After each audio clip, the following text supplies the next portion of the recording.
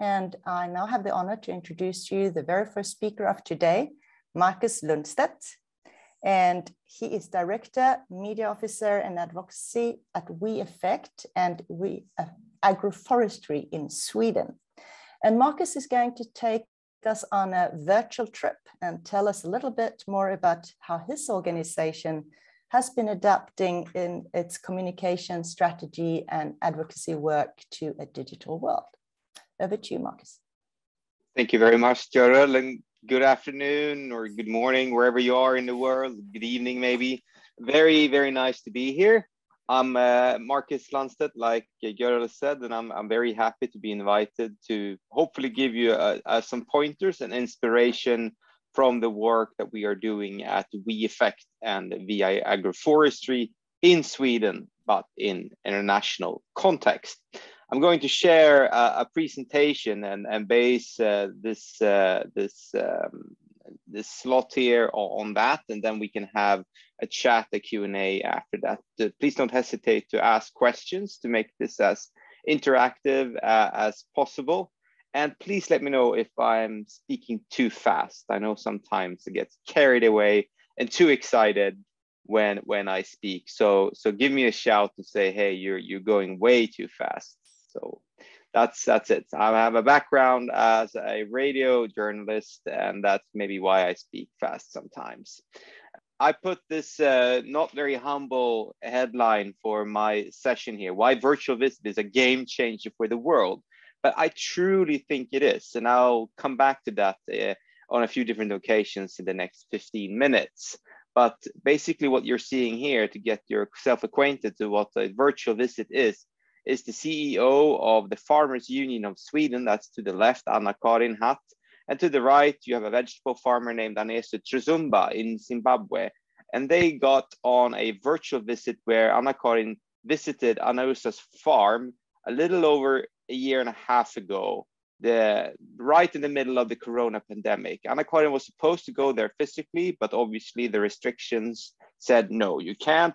So Anesu, she opened her her home to cameras instead and we logged in uh, Anna-Karin Hatt from Stockholm. She was able to go live and direct and see her vegetable gardens and her cows and have a conversation on the effects of the corona pandemic on farmers in Zimbabwe.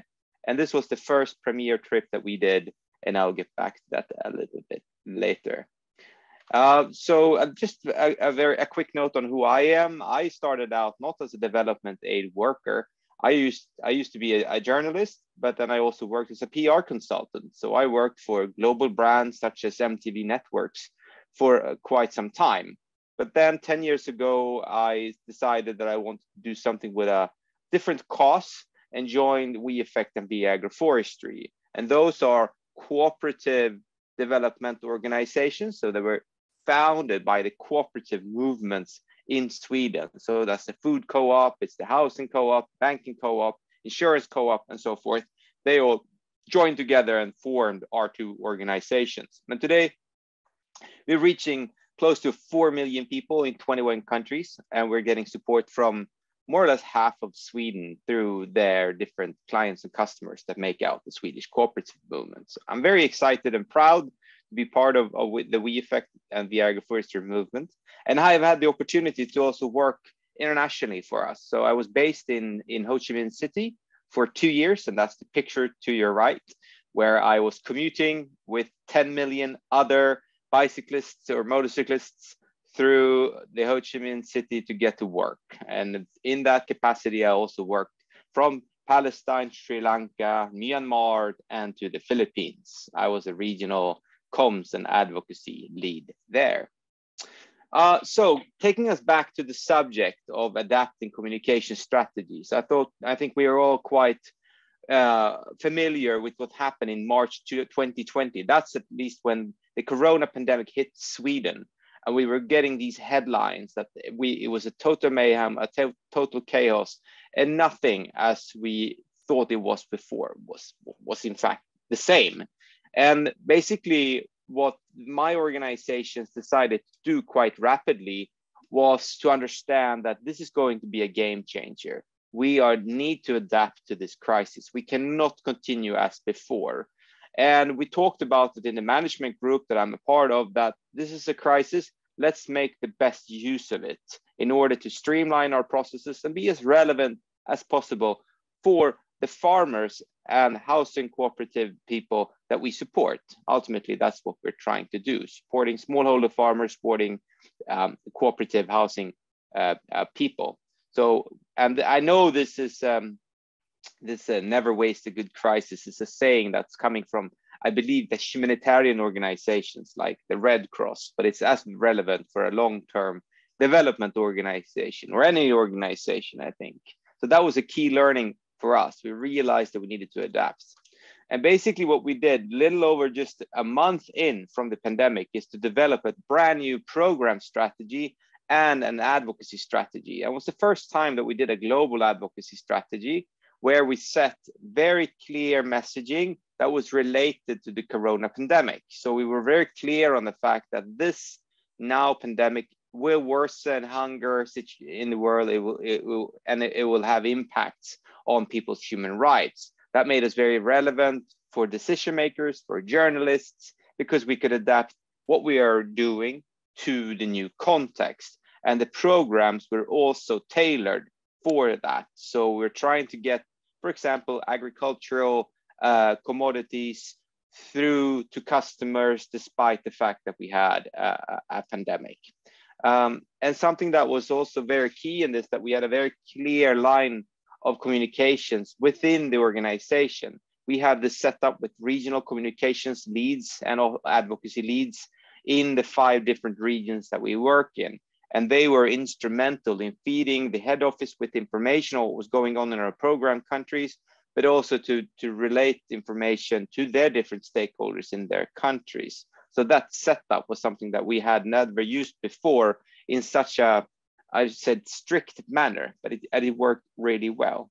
And something that we also made uh, use of was the fact that we had our owners, the cooperative companies that I mentioned before, as allies in this. So they were able to go out to their customers, to their clients, to their staff, and say, hey, let's support the We Effect and the agroforestry in these very difficult times because we know that people in poverty are affected the worst by the corona pandemic. And we formed this uh, internal tagline, stronger together, that we used over and over again, that we need to work together in order to overcome this pandemic. And throughout this spring, another learning was that if we can't travel physically, which is usually the best tool that we have in order to influence decision makers or uh, major donors or journalists that our work is needed and, and, and, and we want to raise awareness about something, it's a physical travel. And we had several of those planned in that spring of 2020, for example, with the development aid minister. But we then thought, why not just do it digitally? That's something that we just, yeah, it popped out of the blue uh, and the question was was raised like can we do a digital visit? And people said yeah yeah sure. What is it? And we said well i don't know. Let's find out. And basically that's what we did. And that brings us back to that trip we did with the farmers unions ceo and the vegetable farmer anesu. They were the first one that we actually took on this virtual trip. And it was only two people. It was very downscaled um, and it was uh, less of a of a of a huge uh, setup and more of like one camera uh, uh visiting uh, uh, Anesu's farm basically. So we had a, a communications team in Zimbabwe that traveled to her farm and then we set up uh, an internet hub and that was transferred then back to Stockholm where Anna-Karin was. That's it. It was very, very basic, but it was successful. And we decided let's scale this up.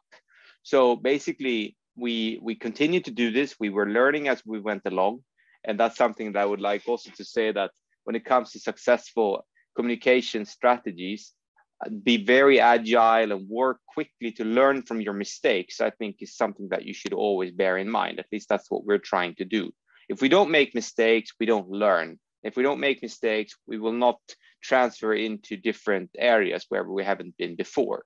And for that sense, I think it's important just to do things. If you have an idea, do it. Maybe it was a poor idea, it didn't come through, but then we learned something from it. Um, and the second virtual visit that we did was with our board of directors. So these are the owners, the CEOs of our of our owners in Sweden, and they're very important for us, both financially but also politically, to give us support. Um, basically, what we did here was more of a grand uh, virtual visit where they received food from Mozambique in advance. So they were eating feijoada during their visit, still in Stockholm. They met the board um, and then they traveled to Mozambique to meet with farmer uh, organizations to learn about the impacts of, of the corona pandemic. There were also music played, and we were trying to really stimulate all senses, despite the fact that they were very far apart. And this was, in fact, a really, really successful trip, with one exception that the internet went down in Sweden. So for about half an hour, we had no trip at all. And I think that was, in a way, ironic. That's on the Swedish side, where usually it's more developed and you are up to speed on internet access, everything just went down.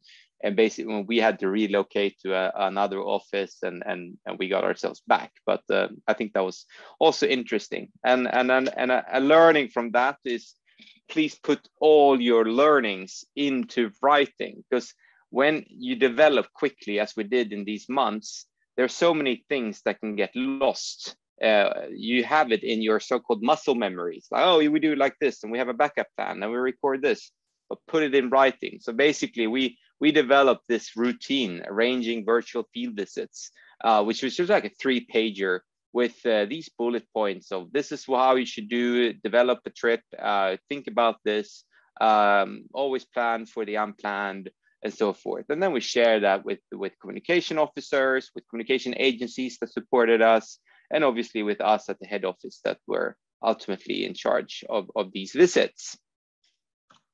Um, and I should also then underline that we not only did the actual trip, we also uh, made use of these trip as an, what should I say, innovative way of, of, of doing development work. So we reached out to, to media and uh, we got them to write about uh, these, these visits, uh, that this was the first time there was a virtual visit from Sweden to Mozambique, and then they interviewed some of the delegates. But then we also had the delegates now in the board of directors who write op-eds. That's what you see on the left in Swedish. Uh, based on what they saw in their virtual visit then would they relay that back to decision makers in Sweden through through an op-ed, and that also worked really well. Um, this was the third uh, visit that we did. Uh, we brought the entire foreign committee of the Swedish Parliament to Kenya, and that was for both We and Vi Agroforestry. And uh, basically, it was yet again another farmers cooperative and these this group, which are instrumental for how development aid is geared toward different areas in, in, in, in, development aid. We obviously think that it should be geared towards smallholder farmers more than it is today, but also the volume of the, the development aid at all. So here we had several politicians that represent right-wing parties that want to lower development aid. And for us, it was important then to showcase in these visits that, hey, the needs are greater, far greater than the support that we're giving from Sweden. So don't, whatever you do, don't lower it. And that was the main message that we keep repeating actually ever since. Uh, and this is what it could look like uh, when you turn the camera the other way around. So there is quite a bit of effort to be put in if you want to be, do a successful, grand, large scale digital visits. I think all in all, we were about 10 people working on this trip, uh, including several communications officers from Nairobi and our own regional communications staff and us in Stockholm.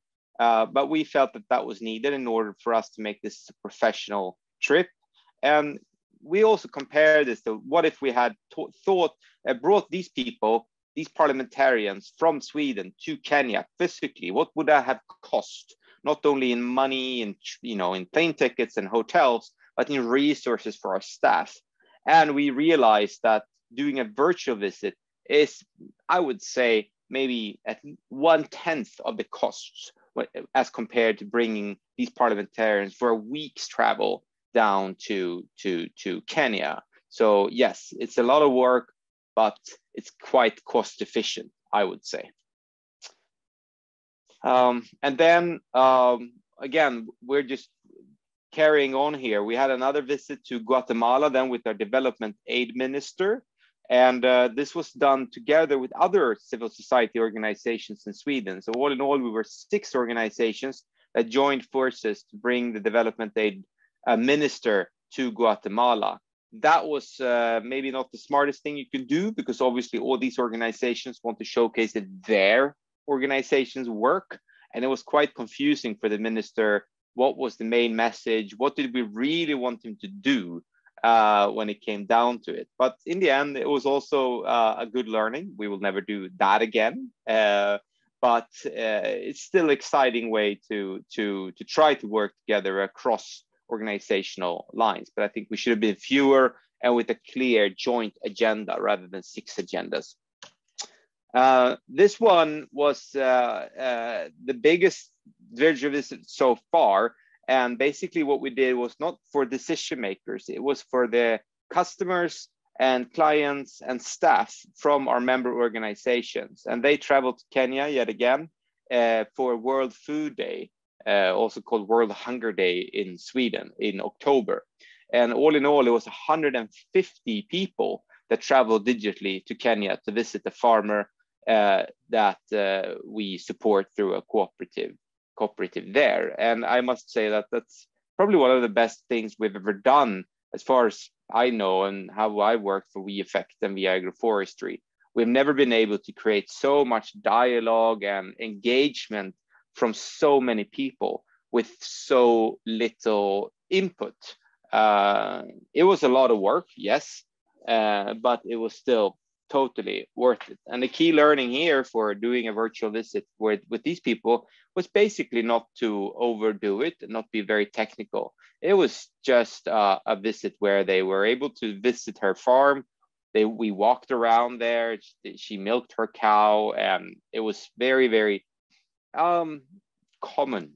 Not, not, not uh, showcasing too, too much. Just basically to being there and then let, let people have questions. And I think uh, if I'm able to open this link, you will be able to see a quick video here, what it will, what it looked like. I'm not getting any sound through, but maybe you can see it. I'll start it from the beginning. Marcus, we don't see your screen at all. Ah, sorry. Let me see if I can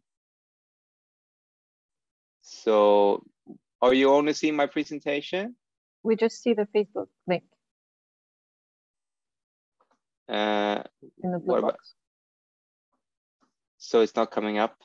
You might you might need to change your share settings if you want to unshare and share your screen once again.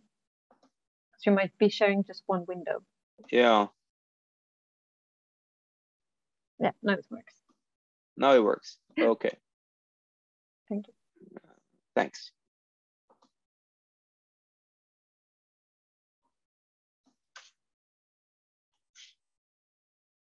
But no sound. No, no sound. But maybe you'll be able to share the, the link of the video. Yes, so for sure. I can maybe afterwards. I can put the link uh, in the chat. Thank you. And what we also did here and what you can see in the below picture is that we have a studio built in our office so we did uh, what we call the travel guides from these different companies that joined forces with us. Um, I'm not sharing that anymore. Uh, there we go. Are we back to the presentation now? Yes. Good. So basically what we, you saw there quickly, and I'm sorry about not getting the sound through, but was was was how, what the, what the what the trip looked like. And another key uh, element of that trip was that since we had 150 visitors, we decided to also have travel guides from these different companies that joined us. So the Coop, the food cooperative, the housing cooperative, and so forth, they elected their own travel guide and they were in our studio at our head office in Stockholm, able to gather questions from their companies, colleagues and peers, and to ask them live because having 150 people ask questions is a bit uh, difficult in, uh, in such a setting. So I've shared a few learnings and these are, I would say, um, the, the, the key things to keep in mind if you would like to be inspired and do something similar to this is to be very clear on the purpose. Why are you doing these, this trip, this virtual visit? What goal do you have? And who's the owner of different processes because it was sometimes unclear whether it was in Stockholm or in Kenya or in Guatemala who was doing what. And that's something that was needed to be really, really clear for everything to work. And I would say even more important, make contingency plan. We had a virtual visit actually just two weeks ago ahead of the Stockholm Plus 50 meeting, again with parliamentarians. And we did a dress rehearsal the day before the visit to the farmer that we had talked to for several weeks and everything was planned. And there was no internet at her farm, no internet at all. And we were not able to go through with, with, with, with the visit to that farm, but we had a backup plan. So we traveled to another farm, another cooperative, and there there was internet and we were able to do the trip as planned the day after. So that was that was key to have a contingency plan and to also have recorded messages that you can put on if the live link is going down. And obviously you should recognize that the virtual visit is, is something new that you should be adding to your communication toolbox. It's not something that can add a normal visit, it's far from it, but it's still something new rather than just, just doing uh, a video that you're sending out to someone, let them be there live. So I would say that that's uh, also a, a learning. And try to think about how you can talk to all senses. We used food, we have used music. There are other things and tricks that you can make sure as a communications expert, make sure that people really get the message that you're trying to send. Um, and when it comes to um, how you can also utilize this within your organizations, I think it's important to try to get virtual visits to become an alternative to physical visits within your own organizations. We were able to put it in our travel policy that it states clearly if it's possible, choose digital visits over physical visits. Then you have a more of a in-depth discussion also about the impacts of physical travels on the climate. And you're able to be much clearer on the purpose of each visit. So a physical visit is, I think, very, very important to maintain. But when you do it, you should be clear that you're not only going to a conference hotel because that could have been made virtually instead. And again, as I said before, learn as you go along because these this is a development that you need to be just very open about.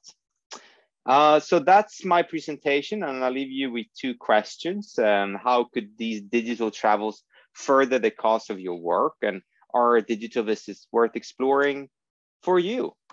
Thank you very much.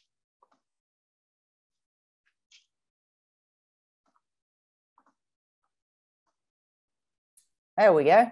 Thank you very much, Marcus. It was a lot of fun to be on that trip together with you and, and to hear from your learnings. Um, feel free to, to chat to Marcus in the, in the chat box, uh, type down your questions. I will start by asking, when you started with these visits, what surprised you the most when we look at the impact they have had on decision makers or politicians or the board members? What, what uh, had you expected and what surprised you? The thing is, I'm an optimistic person. I, I was one of the few that actually said that I think this is going to work. But a lot of people in our own office, in our communications department, said, no, I don't think it's going to work. Uh, so I was surprised that it even did. I, I, I was definitely, you know, willing to do one trip, but then after that, we just well, it, I mean, it wasn't hundred percent; it was seventy percent. We still said, let's carry on, let's try it one more time. And I think that's basically, I think what surprised me the most was that it worked. Uh, and I think that's when it comes to innovation, you you don't know that. You need to be a little bit bold. You need to try things, and you be you need to be ready for failure. If you're not if you're not up to, up to that, it's, it's you're not going to pursue it. So yeah, I think that's Thank that was that's what surprised me the most. that it actually worked. Uh, El McNay says, how do you source camera teams, etc., uh, when working in remote areas? Yeah, so basically what we have done in Mozambique, for example, and, and, and in Kenya is that we have gone through a, a local communications uh, agency uh, with expertise of live uh, live broadcasts. And it's it's been a, a very, very, uh, I would say, straightforward process where we have developed a brief they've been able to respond to the brief. Do we understand you know the the task the same way? And then uh, we've had these uh, dress rehearsal visits. So we've been able to test things that it works. And the internet has has usually been the problem not how you do the actual like broadcast if you may say so or how you put the camera here or there. That's never been a problem. It's been the internet at all times. But then it was quite funny actually in nairobi. They said you know we can get you one of those satellite buses that you see outside of the olympics. I'm like what? Yeah it will only cost you $10000 i'm like no we're a development organization. We're not going to have a satellite bus run into a small village outside of nairobi. That's for many many reasons totally wrong but they were they were they were up to the task okay. So and, and what has been like the most difficult parts? If if camera resources um, and internet has been difficult but what else?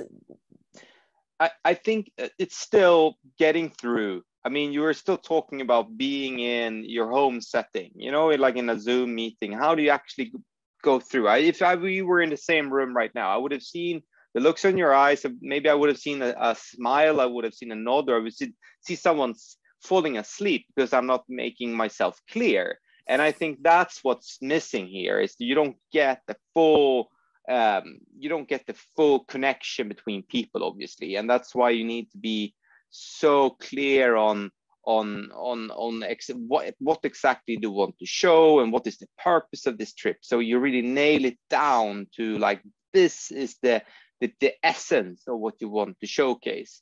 Uh, because otherwise you get lost in translation. And uh, that's also what we've been hearing in the evaluations. It's like they didn't really understand who was this farmer, why were they there, and there wasn't enough time to ask those questions. So you need to be very, very clear on the message. And I think that's it comes down to communications, right? You need to be very, very clear on your message who you say it to and, and what is the intention of, of that message. So, and that translates obviously into virtual visits as well. All right, thank you. Uh, we have time for just one more question. Uh, Namrata says, what kind of budget did you need? Yeah, so the first trip with, that we did was basically next to nothing. I would say like a thousand dollars. It was just like our comms consultant set up an international um, um, internet hub, and then we had um, someone who edited something. But then for the biggest trip that we did now in the fall, the 150 people coming from Sweden, we had this Zoom portal built, and there was you know a lot of people involved. So I think I I think we came close to maybe ten thousand dollars for that visit. Uh, but that should then be obviously seen in the light of what a normal visit for 100 people or, or even 10 people would have costed, which is much, much more. So it is expensive if you want to do it that large scale, but then you need to have the return of investment calculated from the start. I mean, we had a lot of engagement, a lot of donors come in through that trip, and it was easy for us to say that it's worth the money even before we did it. So I think that's yeah, but around around that around that figure. Right, thank you. Thank you very much. Uh, thank you very much, Marcus, for sharing. Very interesting. Um, I will now move on a bit in the programs. And our next speaker, some thank of you. you. might recognize him, Anders Sahlman, um, who was the moderator for the Communication Accelerator last year. Uh, he is here uh, in a little bit different capacity as presentation coach with more than two decades of experience from science communication. And um, he also has a parallel career working as an actor and a stand up comedian and has gained him a lot of stage experience. And he is going to share this with us. He has already helped hundreds of science scientists and science communicators improve their presentations. And uh, we are looking forward to hearing what you have to say, Anders. Welcome. Well, thank you very much, Görel. Thank you for inviting me as well. And welcome to you all um, to this short workshop about crafting your message. Um, I will try to give you as much value as possible during these 20 minutes. So what I will tell you about is how to uh, craft a message or how to help someone else to, to craft, craft their message. And as many of you are already experienced communicators, you will probably already know about the concepts that I will mentioning, but you can regard this as a sort of a train the trainer session where you can learn some, perhaps some methodology, which you then can apply when coaching researchers or scientists in your own organization. So as I said, this will be a very practical session, so please take out pen and paper and have it in front of you if you don't already have it. Because I will give you some exercises to do in front of your computer. And I think it will be of most value to you if you follow along with me uh, during this session. Okay? The, nothing complicated, nothing, nothing difficult. But I think you will get the most value of it uh, if you do it that way. So now if you use the reactions here in the menu and, and use the raise hand function, I would like to know how many of you have ever heard one or several boring presentations in your lifetime? Yes, I can see uh, uh, a lot of people agreeing there. Thank you very much. You can lower your hands there. Um, and how many of you know that you have ever made a boring presentation once or twice in your life? Yes, some hands are coming up there as well, and I want to thank you for your honesty because we've all been there, right? Yes, I know. But um, let's ask ourselves what makes a presentation boring then? Well, in my, my opinion, as I have, as I think of it, I believe it's three things but we only have time to talk about two of them right now. So the first thing we do is we try to tell everything in chronological order. So we, we tell things in the order that we think is the most logical.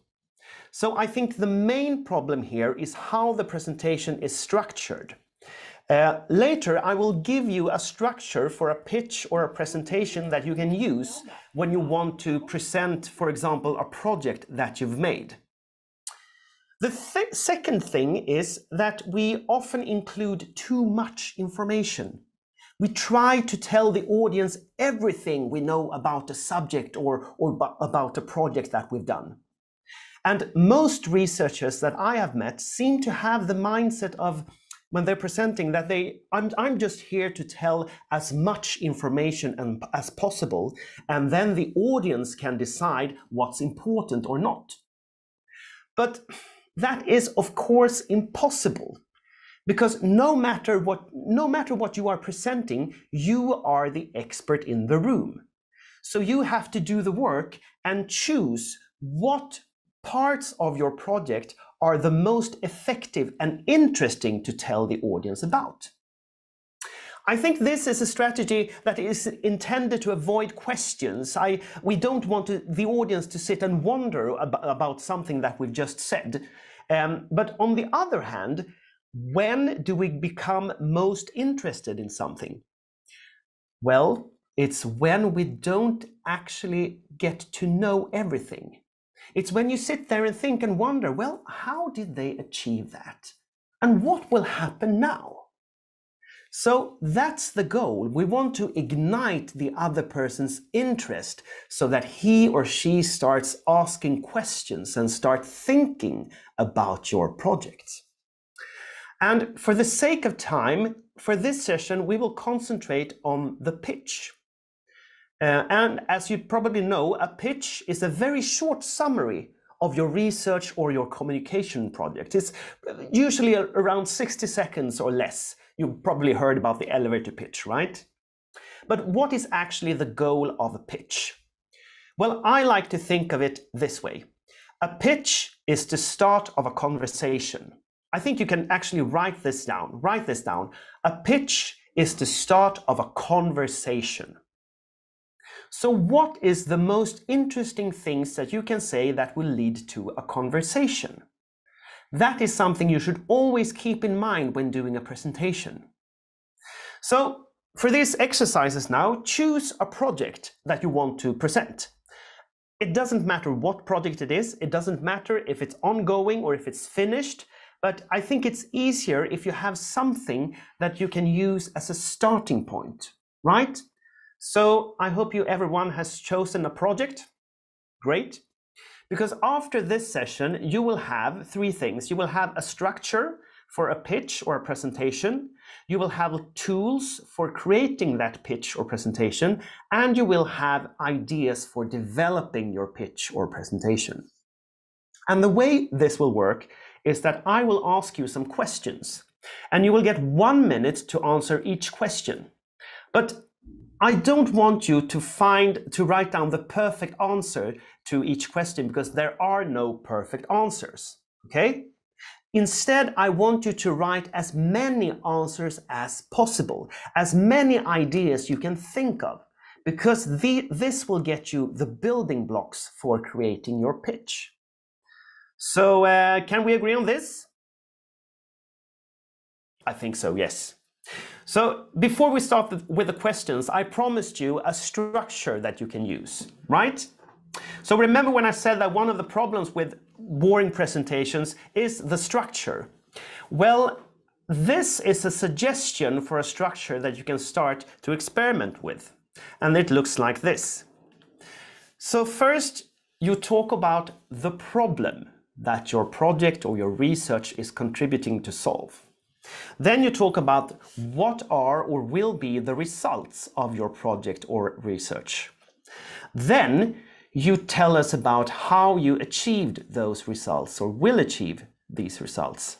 And then you finish off with an action to the um, audience. And um, so everyone sees the structure. Great. Okay, so we will go through each part in detail. So um, the problem is actually, I mean, the overarching problem that your project wants to solve. Every project exists for a reason. So what is the project, the problem that your projects want to solve? Some people would say that this is the background.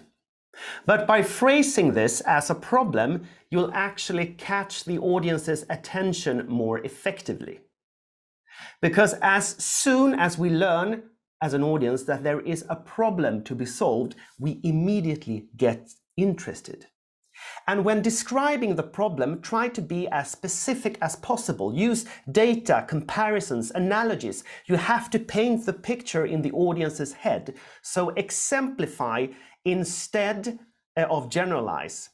And if you don't see the PPT is because I show the text in my presentation win windows. I do not share a presentation, right? So you have to look at where I'm actually doing uh, the presentation in my window. So now you will get one minute to write down as many suggestions for the question, what problem is my project contributing to solve, starting now?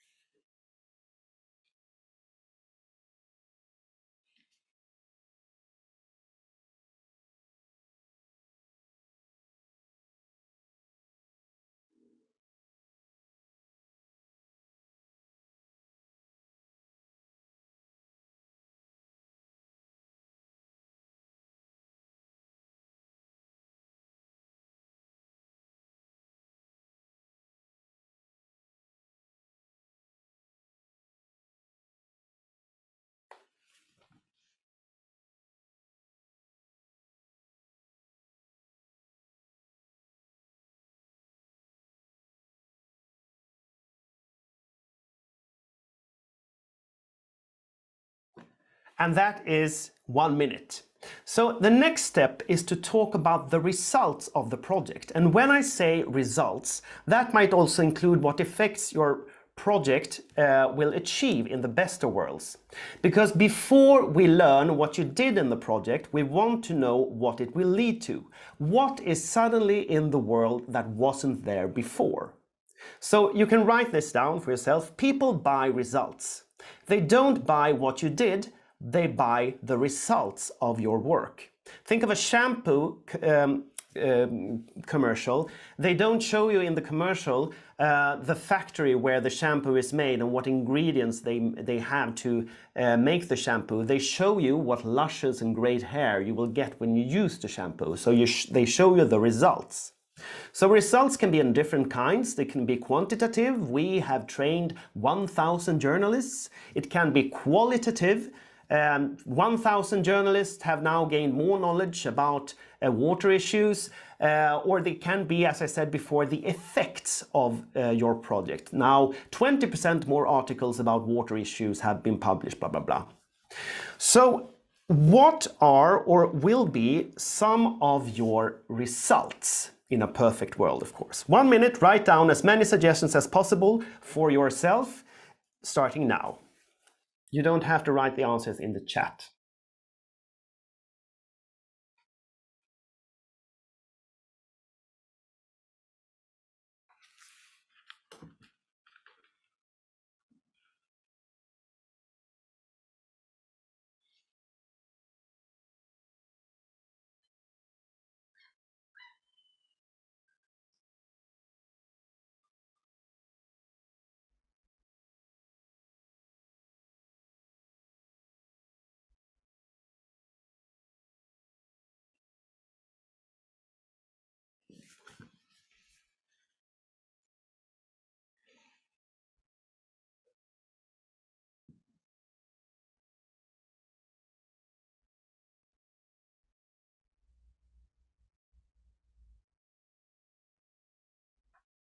Great, that's one minute. So now the audience knows about the problem you want to solve and what results you expect to get or have got. So now they ask the question, well, how did they achieve that? And with how, I mean, what are the most important activities you made to achieve your results? And as I mentioned before, how is actually the least interesting part. But this is often what researchers spend their most, most of their time explaining. And that is understandable, of course, because it's where they spend most of their working days in the daily lives. But as an audience, you only want to get a more general idea of what you did, because they can ask you more specific questions in the Q&A sessions uh, later on. So uh, write down as many answers as possible for, for what activities led to the results. One minute starting now.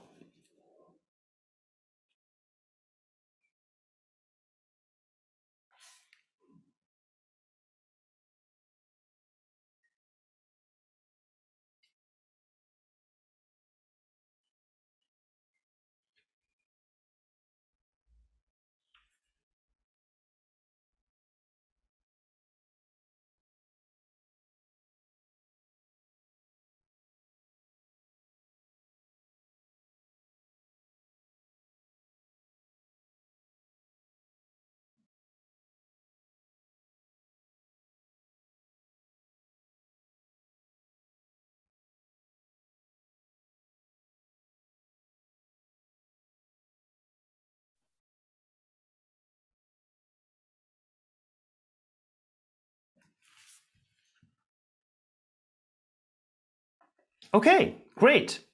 Now the last part is the action. Remember when I said that, that the pitch is the start of a conversation? Well, now it's time to start that conversation because most presentations end passively. There is a big thank you slide behind the speaker and they said, well, I think that's all for me and they go off stage. But how can you end the presentation in an active way? What do you want the listener to do when they've heard your pitch or presentation? What action do you want them to take? It can be a millions, millions of things. Uh, a simple thing is to say where they can learn more about your project, uh, direct them to a website, or, or where they can get in contact with you on social media or email perhaps. Or do you want them to do something else? Do you want them to donate to a cause or sign a petition or take part in a research project? Maybe you have a challenge right now that you would like to have some input on. Uh, if you're telling your, your pitch to a person in the coffee line at a conference, maybe you can finish with a question to get that conversation going. So there are millions of things you can do, but the important thing is not to end in a passive way. So write down for one minute as many suggestions as possible for the question, what do I want the listener to do now?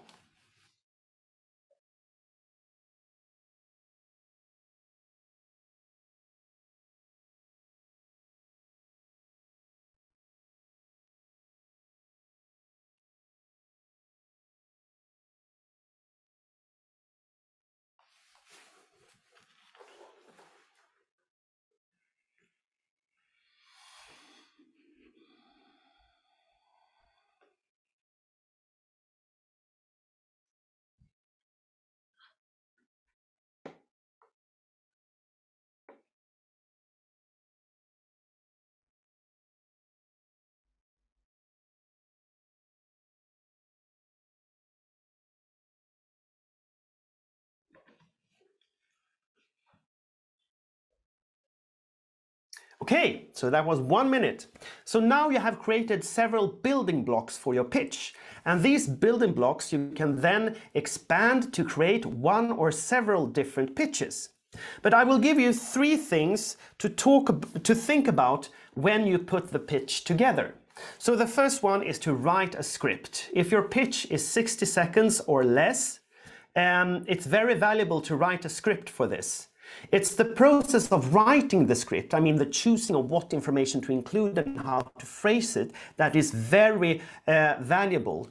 Also, you know that you keep the time and it's much easier to go back and change the pitch after testing it out. But write the script as you talk, because we talk and write in very different ways. We write in long sentences, for example, but we talk in short sentences.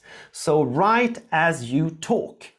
And to get you going, there are actually dictation tools that available now that you get, can get you started. The second tip is to use a timer when practicing. With a timer, you know that the pitch is maximum 60 seconds long. But why not try to practice one of your regular presentations with a timer so you know that you will keep time next time you're presenting at a conference or another context? Because keeping time in your talk is the easiest way to look more professional. And the third and most important thing is to test your pitch or your talk, because no good presentation is created in a vacuum or in an office. You have to go out and test it and get feedback from many people. And then you can go back and change, and each time you do the pitch or talk, it will improve. But if you ask a friend or colleague for feedback, don't just ask them, well, uh, what did you think? Because they will probably say, well, it was good. Um, and uh, instead, ask them to retell your presentation in their own words. Because that will give you much more information about what they actually learned and where they got stuck. So ask them to retell your presentation. Okay, uh, time is running out. It's time to wrap up, but I would like to encourage you to try writing the first draft of your pitch today. Set the timer for 10 minutes and write the first draft. It will probably be very bad, but that's really good because you have something to improve upon.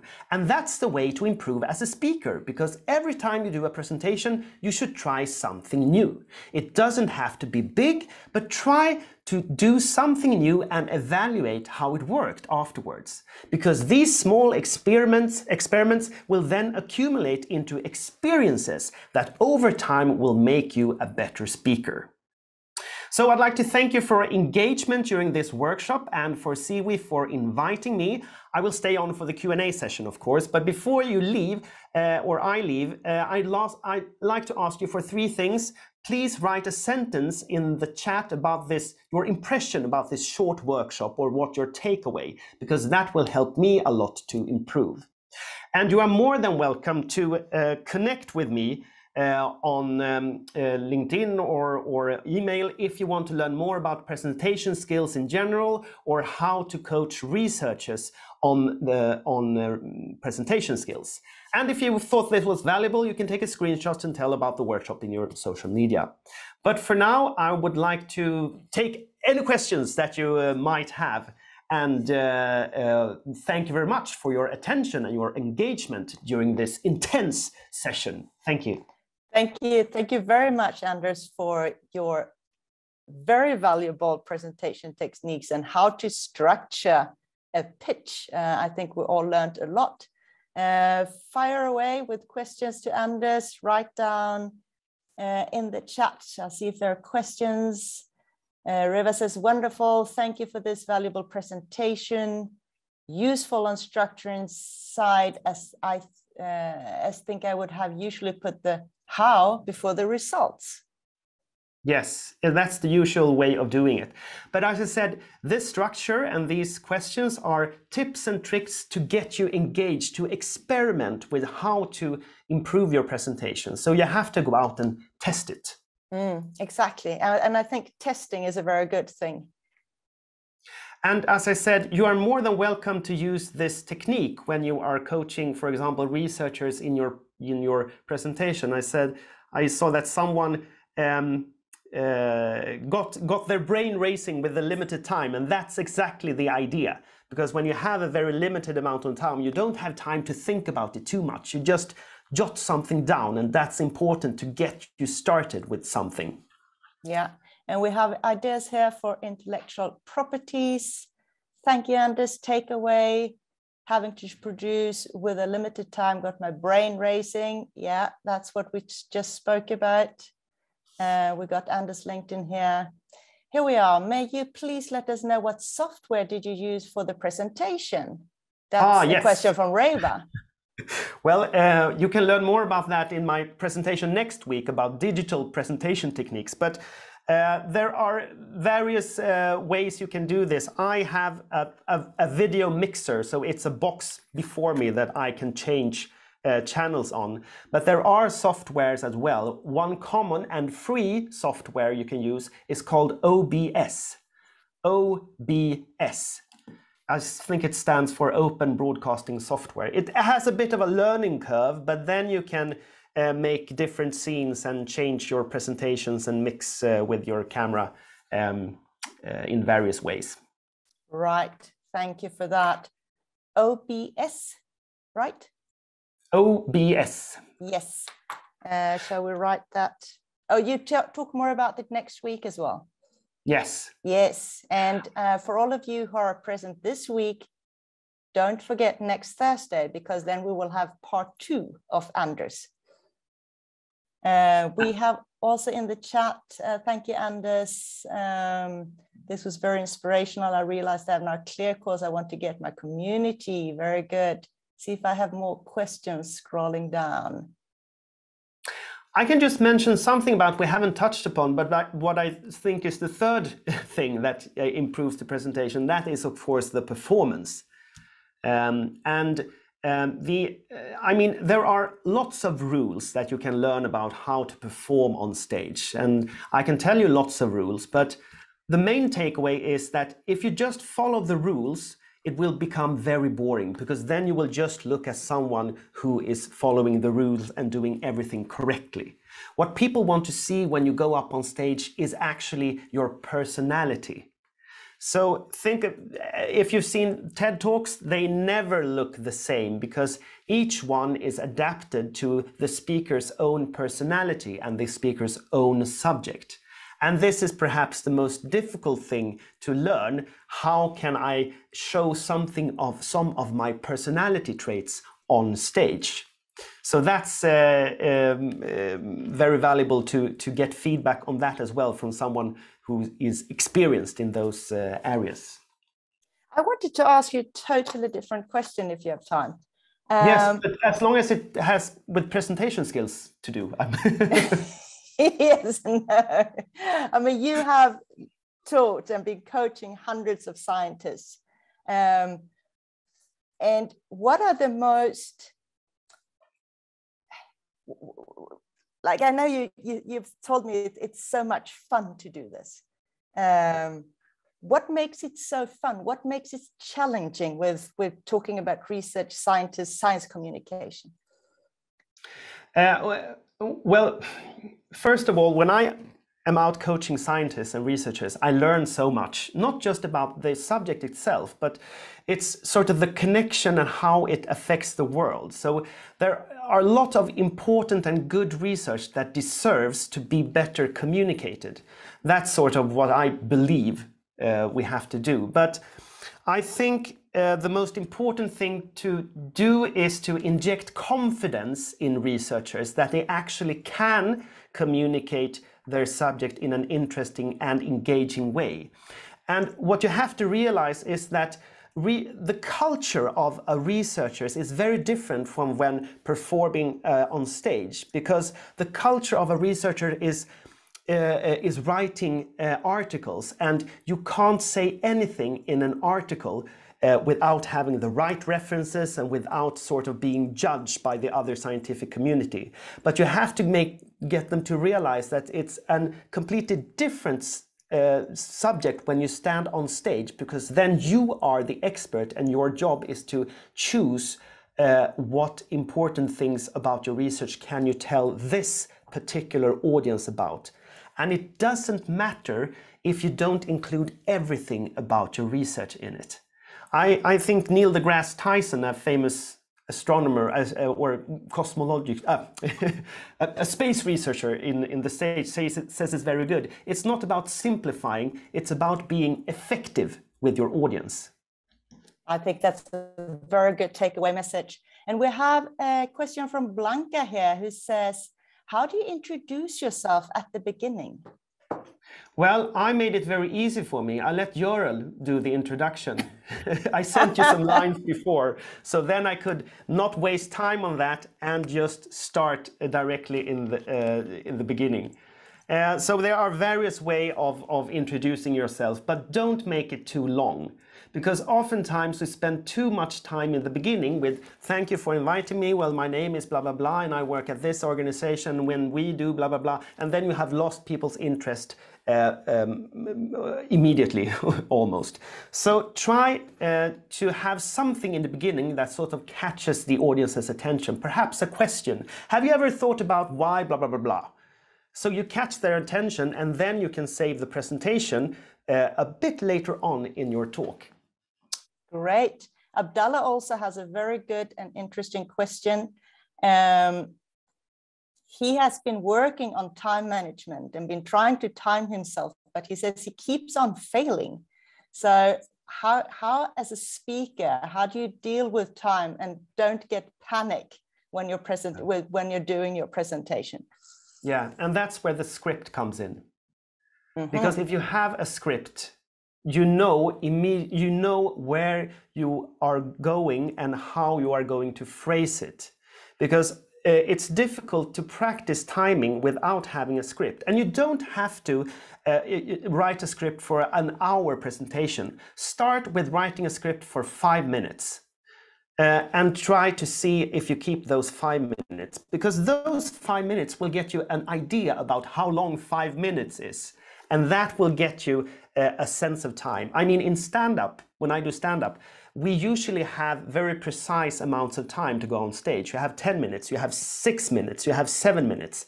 And if we go over time, we don't get booked the next time because keeping time is really important. So as a stand-up comedian, you get really good at knowing how long your material is. And that is because we have it written down as a script. Ah, that's very good. And I think we can all learn from that as well. We have uh, another question here. Uh, keep failing. Yes. There's, this is a question from Nanda, uh, slightly on, on maybe on, on that panicking note um, or, or getting out of breath. Uh, whenever presenting something, I become out of breath, not being afraid, but just short of breath. How can I overcome this? And I guess there's practice methods. Yes, it is practice, and and um, it helps a lot if you have practiced your presentation thoroughly before so that you know where you are going. So you have that sort of in ryggmärgen what's it called in english? Uh, well it's in it's, your it's sort of in blood. your body rather Yes. in, than in your head. Uh, uh, because when something is in your body you immediately get get more calm um, and also there are breathing techniques to to learn. So before you go up on stage just try to take three deep breaths in through your nose and out through your mouth mouth. In through your nose and out through your mouth three times and see that you are more grounded. And then you can just uh, repeat the first things that you are going to say, the, the first three sen- sentences of what you are going to say, and that will get you a head start, a, a calmer start. That's very good. Okay, we are running out of time. I have Yes. time for a very, very quick question, so we can do that live. Um, it's a quick question, basically yes or no. Um, Toby, uh, sorry about mispronouncing your name, has asked, can one start with findings of research rather than methodology when uh, immediately on stage? So basically, yes or no? Yes, you can. I mean, what I've learned is um, the best stories I get is when I ask researchers, so what gets you most engaged about the research? Your research, because then I, we get the story about the grandmother who passed away from cancer, and that is why they they, they do this research, or or visits they have made in countries where, where people are suffering and want, they want to do something, and it's very very the best thing is to just start with that. Start by telling you telling the audience why gets what gets you most engaged about your work. That will catch them immediately Thank you. Thank you, Anders. We do have some more questions. I will uh, copy those and uh, write them down to you, and maybe you can just give a line or two in writing, and I will share it with the group. And Anders is back next week for more tips and tricks of presentations. So uh, we will see you then. Thank you very much for coming and for a very inspiring session. thank you very I- much for inviting me Thank you. Um, I will now invite Charles Wendo. Uh, Charles Wendo, science journalist and training coordinator for, for SciDev.net. Charles is going to tell us more about how to make water science interesting to journalists and their audience. So welcome and over to you, Charles. Great. Thank you. Good morning and good afternoon, everyone, uh, depending on where you are. We are going to talk about how to make water science interesting to the media and their audiences. I think we all know that it's a terrible thing to be ignored. It's a terrible thing to talk to someone who is not listening to you it's uh, not such a nice thing to issue a press release and no one, uh, no journalist writes a story out of it. So we have some ideas that we can that we can share, and I like to make it. I like to make it a, a, discussion because I believe wisdom is widely distributed in the room. I will. Uh, my name is Charles Wendo. I'm the training coordinator with the SciDevNet.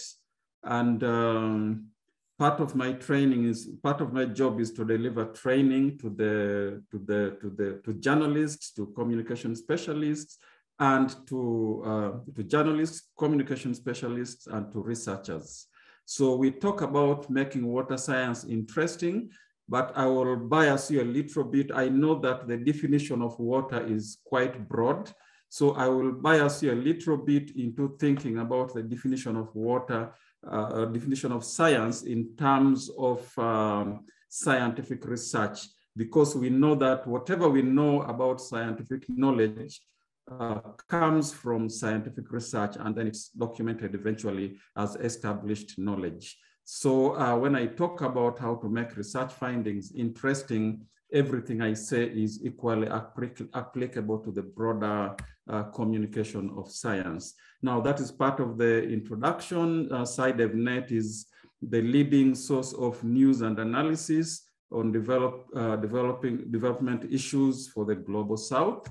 And then um, the training arm of SciDevNet is called Script. So I'm, I'm, I'm, um, uh, I'm, I'm part of the training arm of, uh, of SciDev, which is called Script. Now, I thought I would begin with my story, my personal story. Uh, how did I become, how did I become a science journalist? And I like to tell this story whenever I'm delivering a talk on how to make science interesting because it is directly related to that.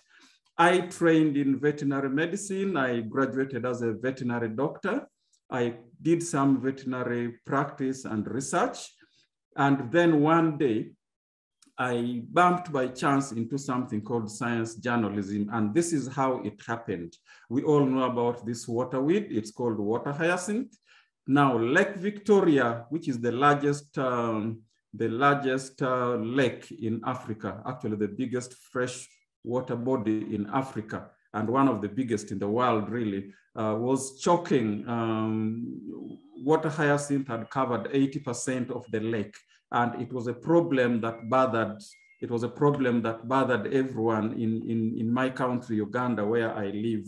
So one day I decided to think about the, uh, everyone looked at it as a problem. And I thought, well, uh, maybe this might be a resource is it possible that lush as it looks, green as it looks, beautiful as it looks, is it possible that it might be feed for livestock? So um, now I thought about those questions before my graduation at the, at the time when I was supposed to do my undergraduate research. So I decided to collect the literature that was the question I was uh, trying to answer. Is water hyacinth possibly uh, a feed for livestock and what might be the feeding value? Now I collected my literature and I did not have the money to do that research. So I shelved that literature and I carried out some other research that was uh, research on another topic that was more affordable. So one day, about a year into my, uh, into my, after my graduation, I went back to the literature that I'd collected on water hyacinth and shelved. So based on that literature, I wrote an article for the newspaper and the main, main focus of the article was that this weed might, might be useful as, as, as, as livestock feed, but we need to do more research on it. So I wrote that article and the editors at the newspaper who I'd never met before, I didn't know anybody at this newspaper, they got excited about this article and they immediately published, they immediately published the article. Uh, at that time, water hyacinth was such a big problem. It was uh, affecting fisheries. It was affecting um, uh, water transport. It was affecting uh, beach going because it compromised everyone's uh, everyone's life. So it, it was a, a, matter of concern. The editors received this article, immediately published it. And to cut the long story short, uh, as a result of that article, I became, that article that I thought was going to be a one-off, I became a science journalist because the editors then encouraged me to continue writing because they told me they were interested in publishing science articles on science, but but they, they had a shortage of journalists that could write articles that, that were referring uh, to scientific research, scientific information, but presented in a way that could easily be um, understood by, the, by their audiences. So that article turned me into, into a science journalist. One thing led to another. I carried out for, uh, for, uh, my postgraduate studies were in, in, in, in, uh, in mass communication and step by step I became what I am today. Now I would like, I mentioned earlier that I would like to make this as interactive as I can. Uh, I would like us to use the Zoom chat. Uh, think again about that water hyacinth story that I've just told. Please type in, please type in, what do you think made the water hyacinth so interesting that the editors published it immediately? Why do you think this article won space immediately? I would like to hear your views. Uh, let's make it a, a, session for sharing ideas. I think I've seen a message coming. Yes, uh, it provided a new solution to an existing problem. Yes, thank you, thank you, thank you for that. Uh, it had a real life application. Uh, in other words, it had value for the audiences. Great, great, great. Thank you for that. It was relevant and timely. Timely, yes, yes, that is very, very important. Relevant and timely. Great, great. Uh, it was a problem that affected many people. Great, wonderful. Uh, real life application, we've already read that. Uh, it, it uh, okay, great. Thank you, thank you for all. Yes, another comment here is water hyacinth was a topic of interest to many groups. Yes, yes, thank you, thank you, thank you for all of these comments. Yes, and all, all of these comments, you are all right. And then another comment has come in, probably because people saw another use for water hyacinth and economic opportunities. Great, great, great. Thank you. Thank you for all of these. Uh, thank you for all of these comments. Now, let us proceed. Now, uh, in my views, and these views are similar to the views that you have just expressed, uh, the editors liked this because it addressed a problem that the public was concerned about at that time. Everyone was concerned about it. It doesn't matter whether you were what, uh, someone who traveled on water or someone who just loves eating fish or someone who loved going to the beach, you were affected one way or another. Then uh, it presented a unique perspective to the water hyacinth problem by discussing it as a potential resource when most people looked at it as a problem. You know, it was a unique, a unique, a unique, uh, a unique angle, a different kind of story from what they have always had. Then it provided credible information, useful information. Uh, I think someone uh, had a comment on the user value. Yes, it was providing potentially useful information and uh, citing, citing credible uh, scientific sources. And above all, this article was presented in, uh, it was presenting scientific information in a simple language that, uh, that non-specialists could, could, easily, could easily understand. Great, uh, let's proceed. Uh, let's proceed. I thought about projecting this figure there because someone might ask, why should we bother making science interesting to people who are not scientists anyway? And we know why scientific research is done. At the end of the day, you would say scientific research is done for the good of society. Uh, I, I, usually ask researchers, why do you do scientific research? And they give me 10 reasons why they do scientific research. And I summarize all of it. You ultimately want to make society a better place. That is why scientific research is done. But if scientists operate in isolation, this is not possible. So I create here the link between researchers, the media, policymakers, and the public. And uh, you may know this, but it's, it's, uh, it's, good to talk about it for emphasis. Uh, the scientists carry out scientific research. Uh, I would rather say researchers because some of the researchers are not in the natural sciences. I think we have both, we have scientific researchers in both the natural sciences and in the social sciences. So the researchers carry out research, they create knowledge, then the media disseminate this knowledge to the policymakers and the public who are going to ultimately act upon this information. Uh, the public, we may make personal decisions uh, based on this information, and then the policymakers may make policy decisions based on this, uh, uh based on the knowledge that is coming from scientific research. We know that it's not exactly as simple as that. Sometimes there are so many complex social factors that determine whether people adopt and make use of uh, the knowledge that is coming out of scientific research. But this is ideally what, uh, what the relationship is. Now, it's good to keep in mind that when we are going to communicate about research. Then the other thing I wanted to point out is that think about this um, this communication cycle, which you probably might be already familiar with. But again, I project it here because I want to emphasize something that when we communicate about research, we need to think about this person at the other end called the receiver. It doesn't matter whether we're just writing a press release, whether we're preparing a brochure, whether whatever we are doing to communicate um, science, ultimately there's there are real human beings at the other end going to receive this information. So a press release is not simply a press release. Uh, every word that we write into this press release, we should be thinking about real human beings who are at the end, the other end going to receive this information. So it is therefore uh, very, very important. And now the media are likely to report on research findings if they consider it interesting, important, and timely enough to draw the attention of their listeners, viewers, and readers.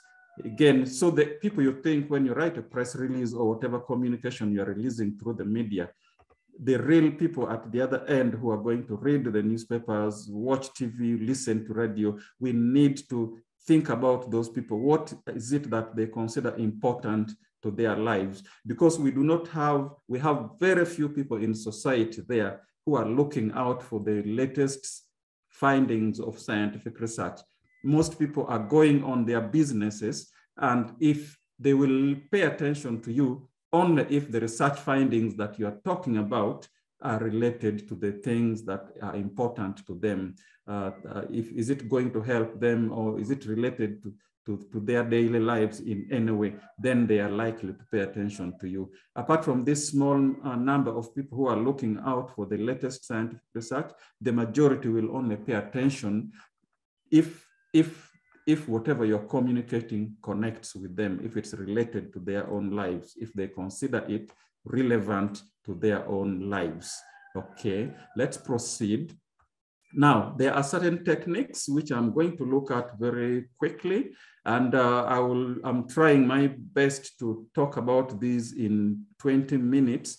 It's the kind of thing that I normally handle in a two hour session. So if uh, it's inevitably, it's going to miss some of the learning activities that we normally would have if we had our full two hour session.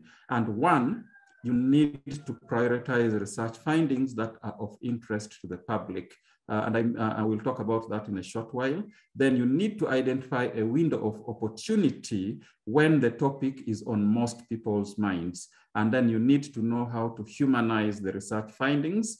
And then you need to relate those findings to people's most pressing needs. We are going to look at these in a little bit more uh, in a little bit more detail, one by one. One is uh, prioritize research findings that are of interest to the public. Now, I point out here that not all research findings will be of interest to the media, policymakers, and the public. Naturally, people will want to hear something they can relate with and that they can understand. So therefore, it's important to think about the people you're communicating with and then this enables you to select information that is of interest to them. So how do we then know what is of interest to, to what's of interest to most people? Now, I need to emphasize here that there are certain research findings that are purely of interest to the researchers or to the academicians or to specialists in that area. And then there are certain research findings that are of interest and applicable to policymakers and the public. I would emphasize, I would spend more energy communicating research findings that are of interest to the public and policymakers if I'm communicating through the media.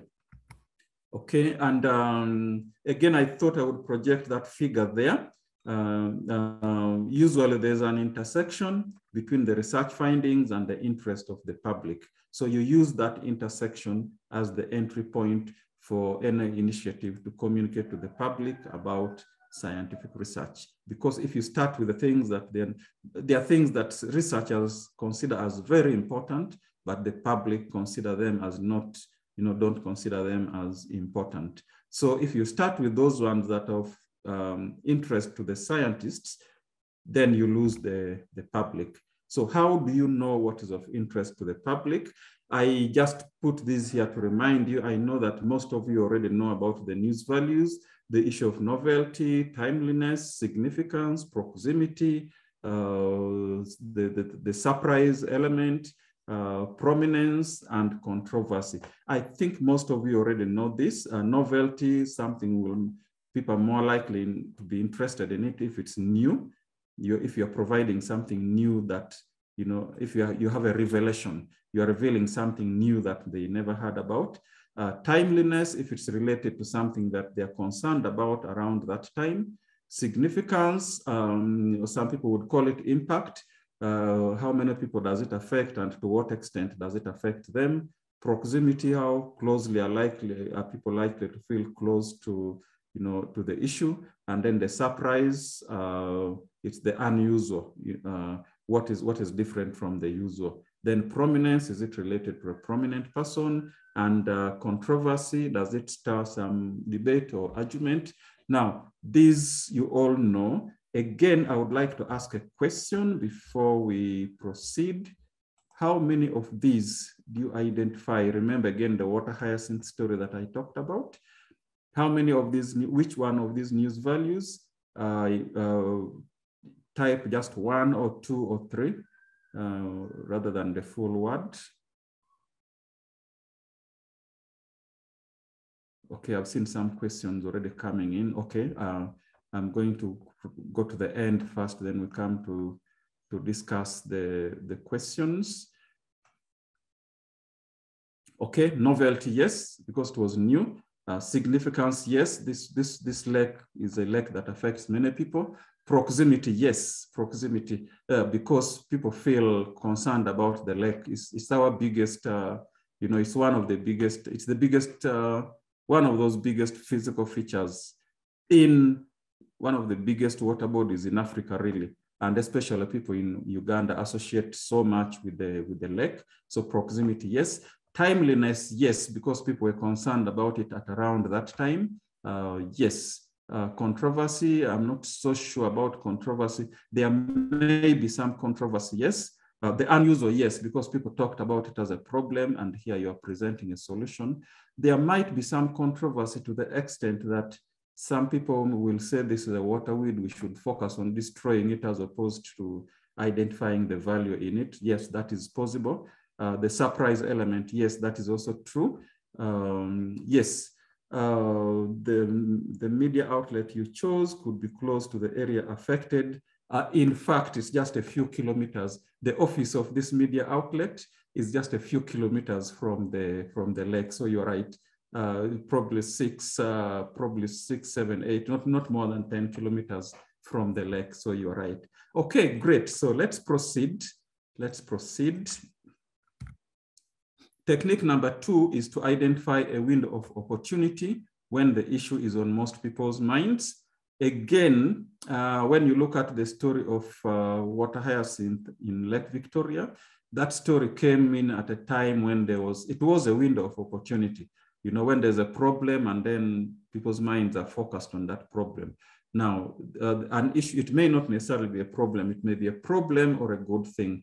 Uh, natural events, organized events, a trending topic on social media, a popular news item in the mainstream media, a relevant time of the year, a critical time in the policy cycle, uh, major international dates like World Water Day.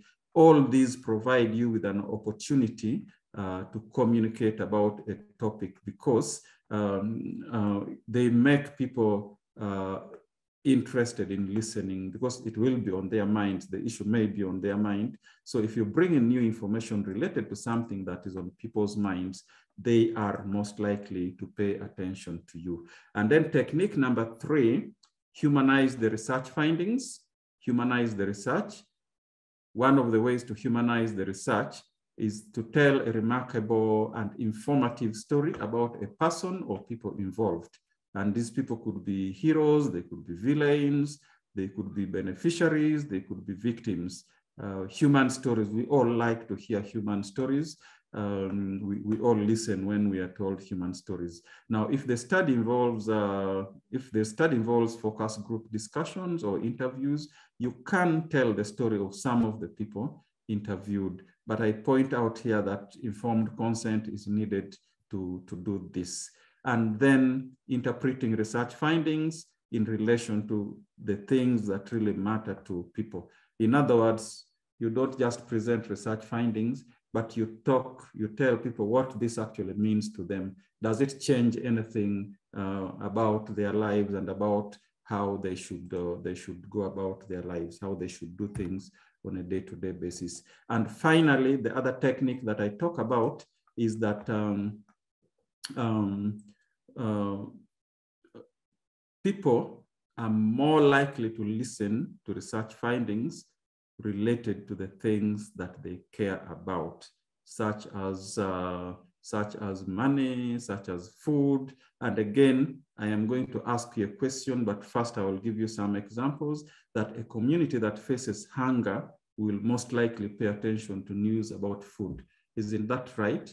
Uh, someone carried out a study, I cannot remember exactly where, that showed that journalists are likely to report on global warming. They are likely to do, more likely to do stories on global warming on the days when they feel hot, when the weather is hostile to them. So people are more likely to pay attention uh, when it is related to something that, that is affecting them at that moment. Uh, so a community facing hunger will more likely listen to news about food.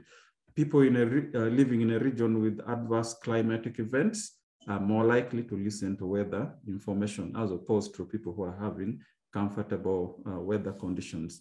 News about technology that saves energy will attract more attention in a society where energy is more expensive and perhaps in limited supply. That's, that's, the, that's the way it works. Now, I will ask you a question in a, in, a, in a moment that what are the most pressing needs of the people in your community? What are the most pressing needs of the people in your community? Is it food? Is it, uh, is it food? Is it, um, is it money? Is it, uh, is it, uh, is it jobs? Uh, give me just one, just one using the Zoom chat. Food, jobs, water. Yes, yes. Food, jobs, water. Yes. Affordable housing. Yes. Uh, cost of living. Yes. Oh, not only in the UK. Right now, uh, I think the whole world, a lot of people are concerned about the cost of living. In recent, uh, in recent weeks, the cost of living has gone up in Uganda, and I think many other countries. Yes, drought, yes. Uh, yes, need to complain, yes. Uh, maybe you mean mechanisms for addressing their complaints. Yes, that is true. Uh, drought, yes. Um, uh, have I missed some? Affordable housing, jobs, food, water, yes. Great, great, great. All these are important. Inflation, yes. Inflation, yes, yes. Sanitation, yes. Access to toilets, yes. That is very important. Uh, access to water, yes. Access to water is very important. Food, education, yes. Education, people care about access to education. People also care about the cost of education and also the quality of education. Uh, all over the world, I think people do. Uh, safety, yes, people care about personal safety. That's very important to us. We care about jobs. Uh, we care about jobs. We care about war. We care about uh, great, great gender equality and so on and so on. All right, all right. Climate change, yes, yes. All these are things that people care about. And all I'm trying to say here is that when you're going to, if you're going to communicate about scientific research, bear in mind these many things that people care about relate, relate, relate this, relate your research findings to the things that people care about that you have uh, very effectively listed here. And very finally, I'll place a summary that uh, research findings related to an issue that most people are concerned about, presented in a simple language and presented at the right time will be attractive to the media and the public. You will not need a lot of lobbying for this kind of information to be published in the media. Then you need to show the media policymakers and the public that your research findings are interesting, important, and timely enough for them to pay attention to you. And I will just mention here, these are uh, opportunities for further learning. We, if, if you go to, I mentioned that we do training. Uh, there, there's not a lot that we can uh, talk about in 20 minutes, but there's a lot of opportunities. We have free online courses on communicating science. Also, we have a number of practical guides there on uh, related to communicating science. And uh, we, we, we, we also encourage or uh, uh, facilitate networking sessions between the media and uh, between the media and uh, scientists. So that is all that I had time Thank for. you. Thank My you. apologies, I overshot by a couple of minutes. Thank you, thank you, Charles. Uh, we still have uh, for we have one more question. If you can give a very quick answer, um, and Tobechukwu from Nigeria says, in communicating research findings, does language differ, example, is when you are writing to scientists or an ordinary public? Do you write, do you use different languages? Yes. Different, yes. Yes, the audience matters a lot.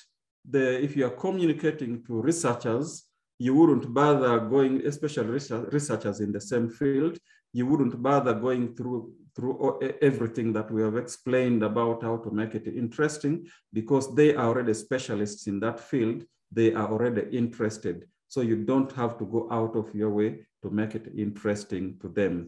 But also secondly, you don't have to go out of your way to make it understandable to them because they, they, they understand all the complicated scientific language. If you're communicating with the public, then you need to break down the information into language that they can understand. Thank you. Thank you very much for a, a, great and interactive session. I think that's very much needed this time in the afternoon. Uh, thanks for joining us, Charles. It's now uh, time for me to introduce the last two speakers actually uh, for this next session. Uh, we have uh, Dennis Wolter, uh, WASH Project Coordinator, Viva Con Agua, and Nobert Latim, Coordinator, Viva Con Agua Gaming. And you're going to talk to us about the universal languages, how to use the universal languages of sports, arts, music, and game to convey a message. And I leave the rest to you. Welcome to the Communications Initiative. Thank you for the introduction and the, the welcome. All right, a warm welcome everybody to our session titled Wash Again with a Purpose, presented by myself, Dennis Wolter and Nobert Latim. And I'd say let's uh, get straight into it and give you a little taste of Viva Con Agua and our work. We have a little video that I'd like to show. This is Viva Con Agua.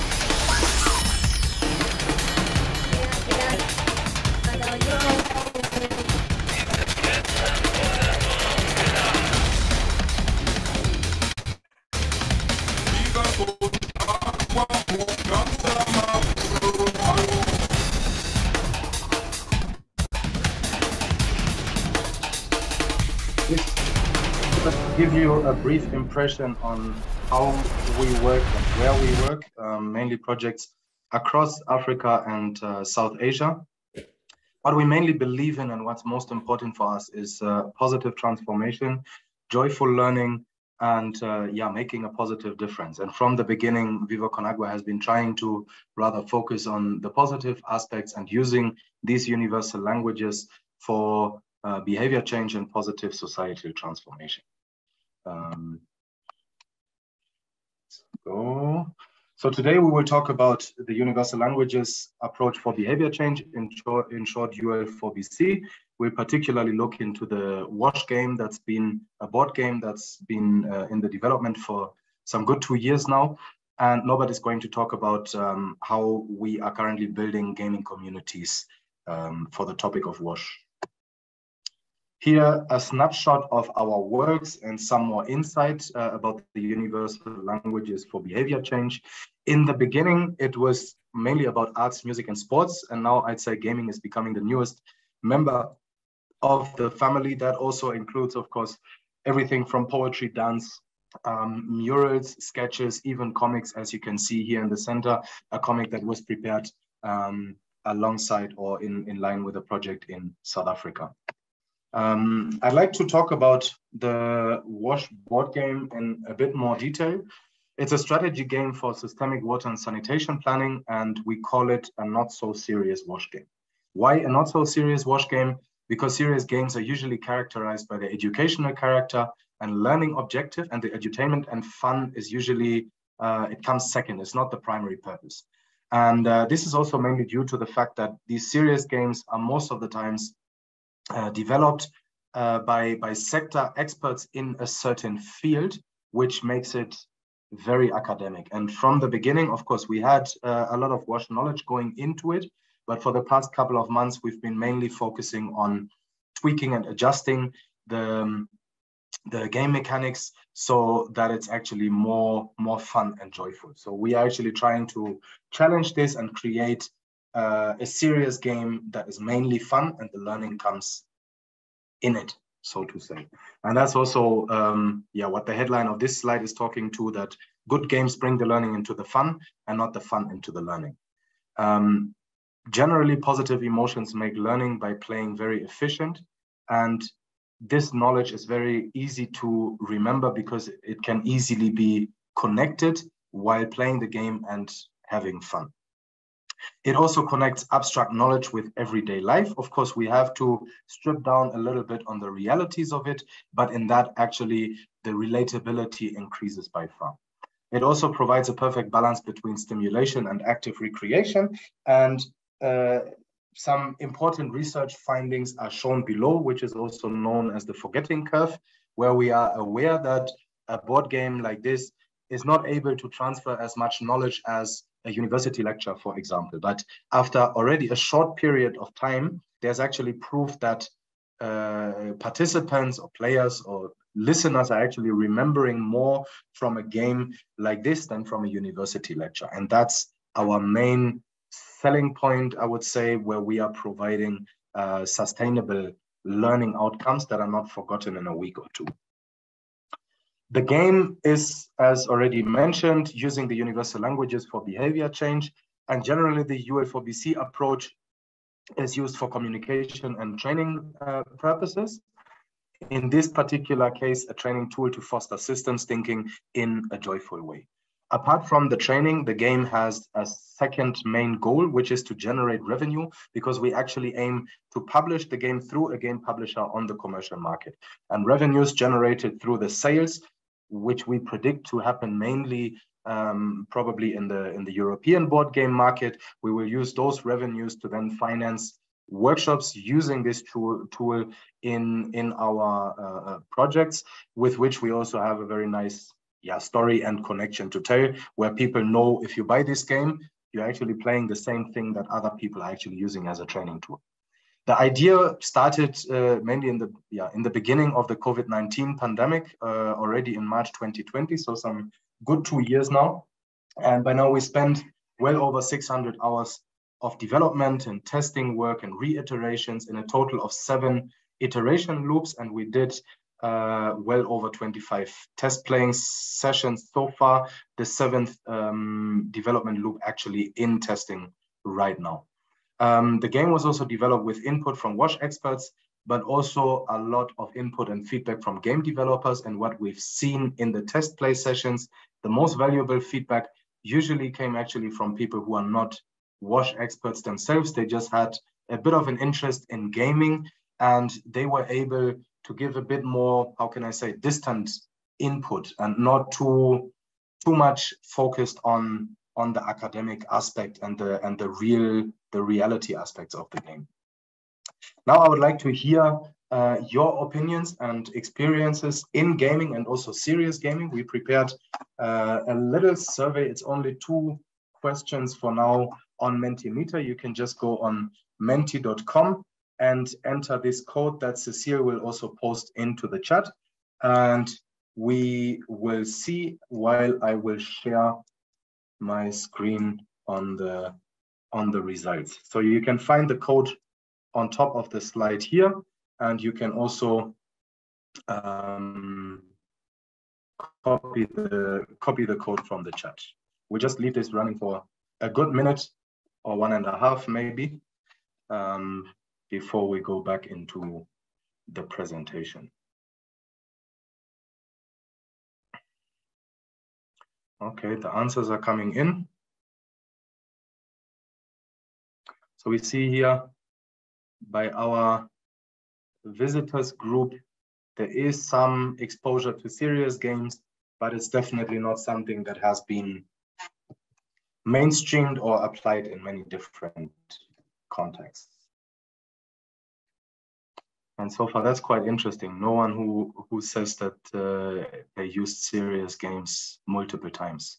So we hope we create the best serious game so far that people will, will, will play it uh, in workshops and even take it home and, um, and play in their spare time. Okay, we can also share the results afterwards. You can still keep on keep on voting. I will keep track of that, but then I would also slowly get back into the presentation. A little bit deeper into the game. Uh, the game is designed for two to four players and the playing time is designed to be around two to three hours, which is a longer playing time, yes, but compared to other complex uh, strategy games on the market or generally strategy games is actually well in the in the middle or well on average. The game is played in rounds. We have a maximum number of 12 rounds, and each round is projected to take around 15 to 20 minutes, rather on the shorter side when players are a bit experienced. Um, we have quite a number of intended learning outcomes. Firstly, it's simulating real life, although in a simplified version, but players deal with the complex decisions to achieve wash outcomes and have to develop uh, strategies. And for that, we have different technologies for water supply and sanitation services, and particularly their applicability in different settings and contexts. Players have to balance between public health, environmental protection, and economic viability of wash services. And there's also a need to develop skills and capacities uh, for service delivery.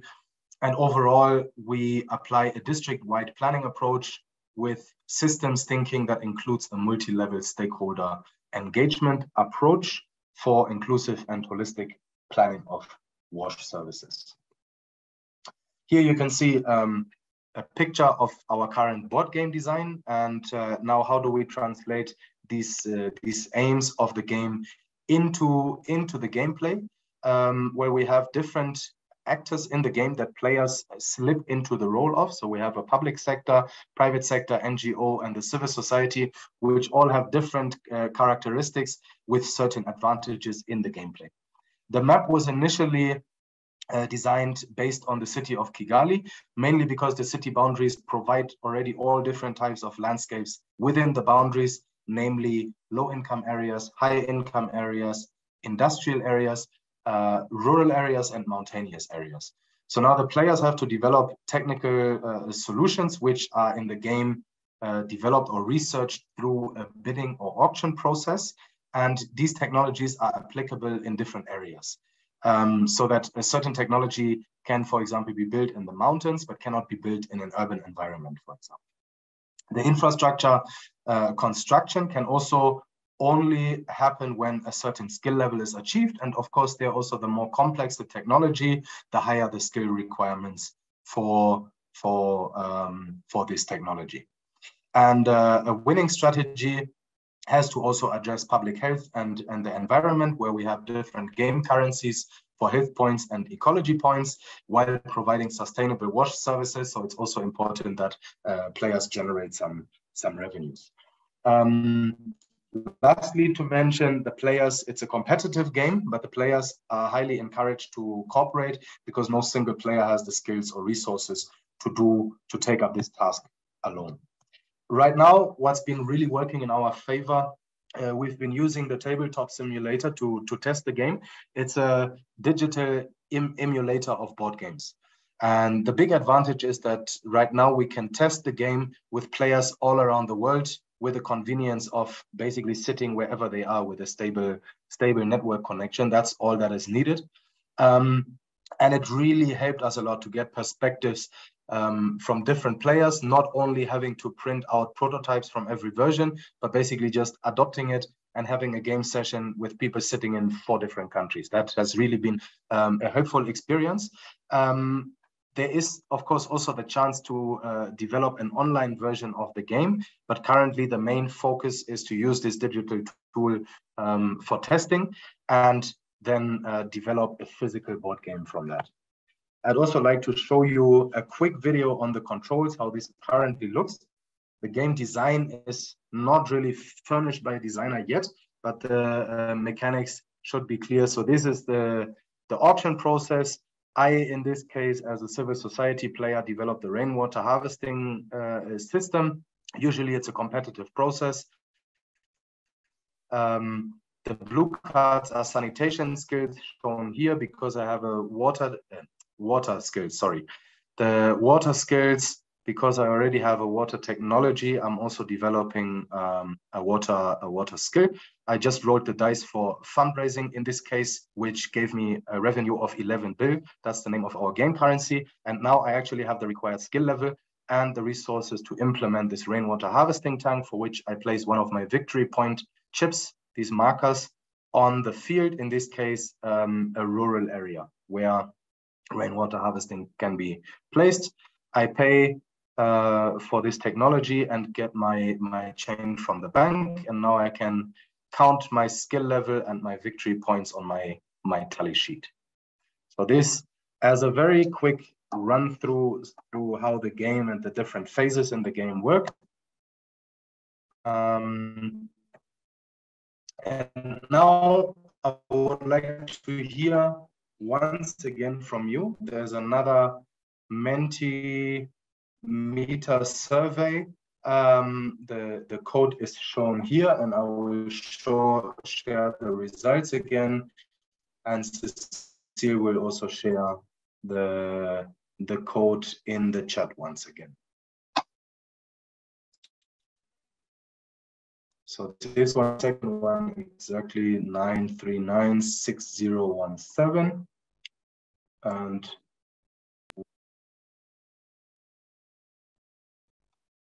into this. Okay, here are some of the results. There's also a second question that you can answer. I just see that we skipped that in the first one. Here we also have a question, what do you associate with board games? There you can basically just throw in throw in uh, tag words like joy, fun, family times, friend times, I don't know, whatever comes to your mind.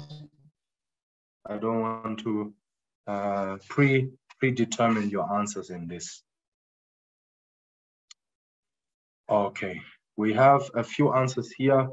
Play and purchase a wash ga board game. Five answers. Some people rather say they would play it, but not necessarily purchase. But so far, no one has said that they wouldn't want to try it out.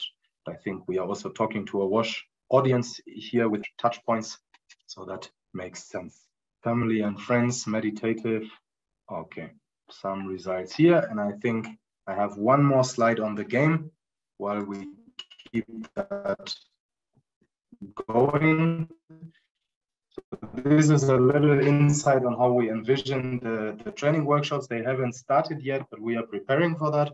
We have a quite wide audience that we would like to target, practitioners, public sector staff, secondary schools, colleges, and universities, but also project stakeholders from the NGO and private sector.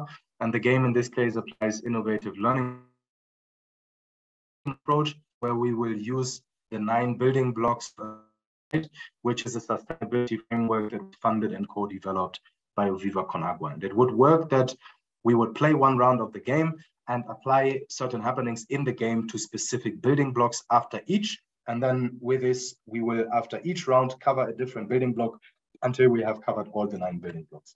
And with that, I would like to hand over to my colleague Nobert, who will tell you more about our e-gaming initiatives. Thank you very much. Um, gaming in Viva Con Agua is a very recent thing. It started in 2020. It was a, a direct response, you could say, to the corona pandemic and the lockdown. Um, what the concept is, is not so different from, I'll, I'll call it for now VCA proper, um, because VCA has a very huge network and a lot of what VCA, Viva Con Agua is VCA, a lot of what it does is really revolving around having this very strong network. So the idea with gaming is not to go too far away from that because we know from experience that having friends and a huge network is what makes things work well or work faster or even more efficiently. So the first thing we want to do is build a network and also put ourselves out there. You can see when we go to the gamers, we tell them, hey, we'd like to be part of your community. And um, we, we are bringing with you our big community that's outside gaming. So when they see things like, or people like Ed Sheeran doing our Water is a Human Right campaign, or Pharrell Williams or Ma Manuel Neuer, then they, they know that, oh, we are coming into this, this nice community. Let's, let's exchange. Here is our gaming community. Bring us into your Viva Con Agua community. Yeah. Um, next slide, please. And so the strategy is actually very interesting.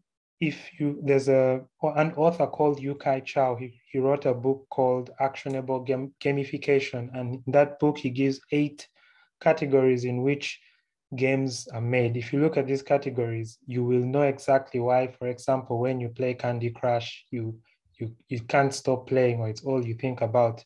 One of those eight categories is called scarcity.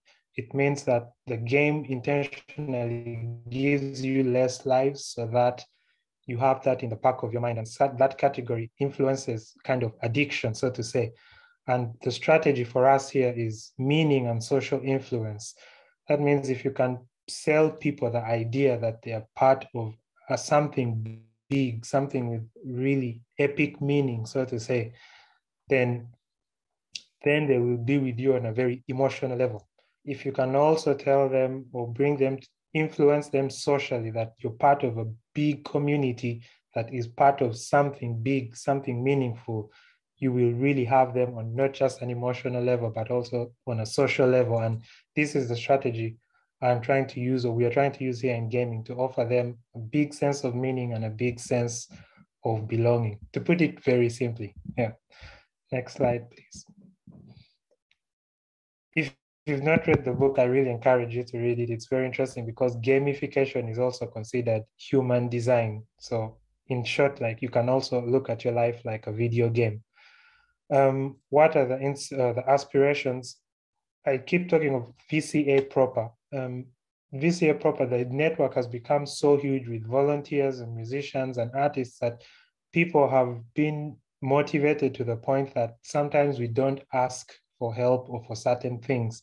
Sometimes people come to us and say, I have this idea, let's do this. I have this event, come and be there. And this is what we are trying now to do with gaming, to create a network that believes in this vision that we have to the point that they are willing to activate their own communities by themselves. And when days like World Water Day or World Toilet Day come, they don't wait for us. They say, we, I have this idea, let's do this. And so this is what we really look, look forward to also on the gaming scene. Yeah. So finally, I've been talking a lot about the network, but we also do our own events. Um, we translate them to gaming. We've got, uh, for example, Run for Water, where we, where we try to translate the, the, idea of people going for marathons, but putting it in, in the game or doing it in a game. We have um, a game, a child, FIFA events, for example. I don't know if you know the game FIFA.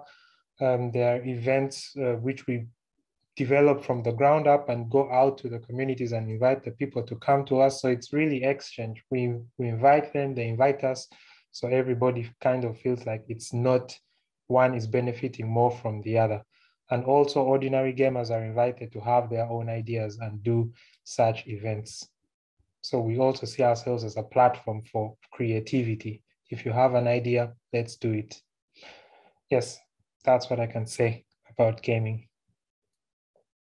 Thank you. Thank you very much for being on the program. We have some questions. Uh, we, I'll start first. Uh, we slightly touched on it um, before with the um, uh, online version uh, versus the, the analog version. And uh, you said, Dennis, you are at the moment only um, developing an analog version uh, it was Leonore who asked if you're also developing an online version. But did you think about an online version or did you make decisions, the pros and cons, uh, online analog? Uh, yeah, thanks for the question. And yes, this question comes up almost every time when we share a digital version of the game.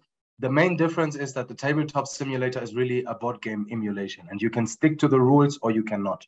It's the same way in a physical uh, game where if people don't stick to the rules of a monopoly game and just take out money from the bank, it's not going to work out. Now, in an online version, we would definitely need advanced um, AI or something that controls the gameplay and controls the rules, which would certainly require some major um, uh, IT coding coding skills. And for now, it's just not opening another uh, project on its own um, before we haven't fully developed uh, the mechanics for that. But it's definitely on the list. It's been asked before. We just need to see how we implement it because it would be nice if it's not just a copy of the board game, but something that is is sort of more engaging and maybe can also play some animation clips or something like that.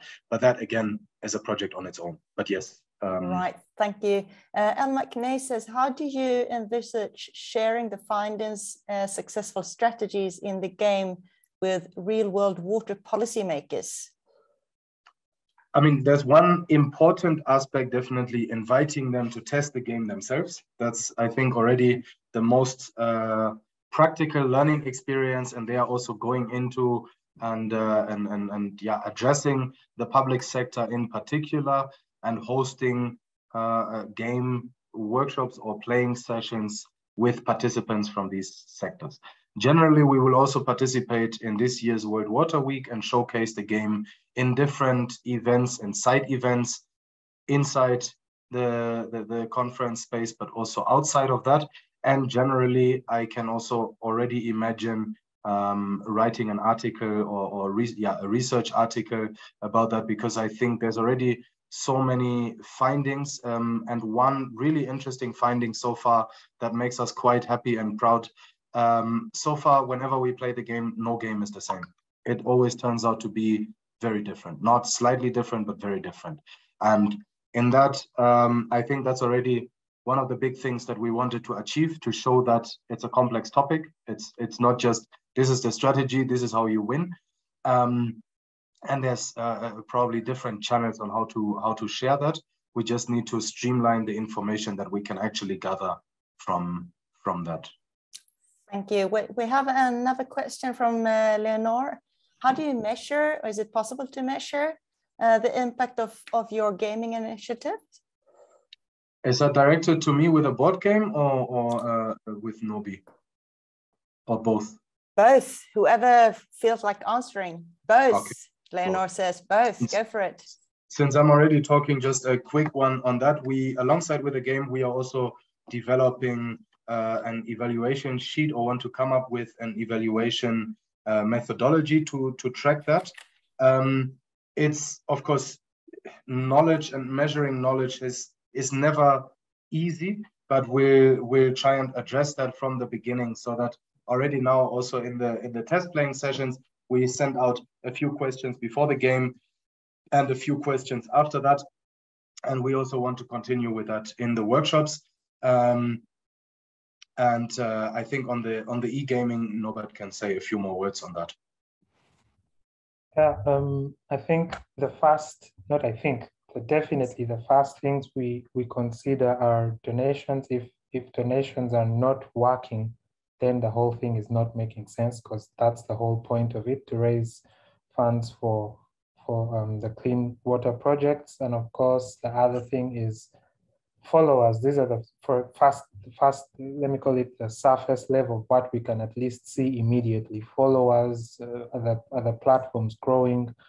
Uh, is the um, engagement on those platforms growing as well? Because there's having I like to call them ghost followers or things like this, and but beyond that, I think we are still, like I said, a bit young to really see the long-term, can I call it impact? But the things that that are really showing progress are, for example, that people we started working with or people we um, we collaborated with on events return. So that's definitely a good thing.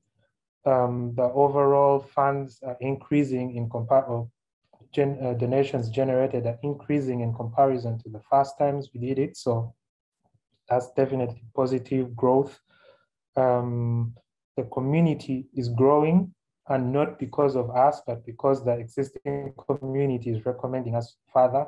We get a lot of um, um, people coming and saying, "Hi, uh, my my name is so and so. I was I was told about you guys from this person," and so that's also interesting. And of course, sponsoring is also there. There are companies that actually come and say, "We would like to do this charity event with you. Um, what what should we do?"